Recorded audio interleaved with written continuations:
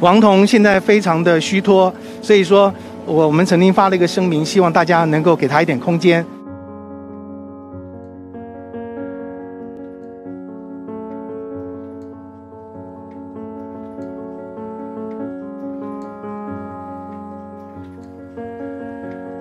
呃，我个人仅代表爱成、王彤，感谢所有这一次关心爱成的粉丝、朋友，还有所有的长官长辈，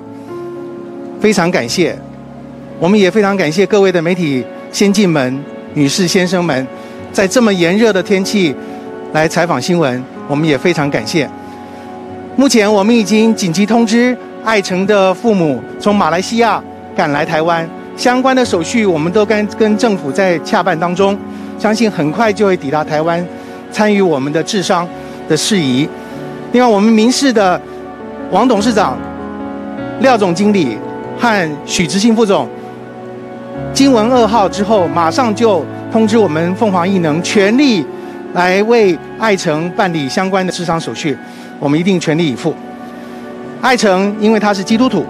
所以说他会呃跟着教会一起来举办他的宗教仪式。那有关这个追思的礼拜的部分，时间确认了，我就会通知各位。